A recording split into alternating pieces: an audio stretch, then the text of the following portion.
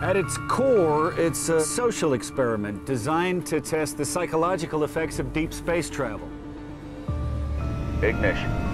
We have liftoff. Zero communication, no sun, all alone. This is some simulation. Walter, do you copy? Where are we? Don't you see? It's all part of the simulation.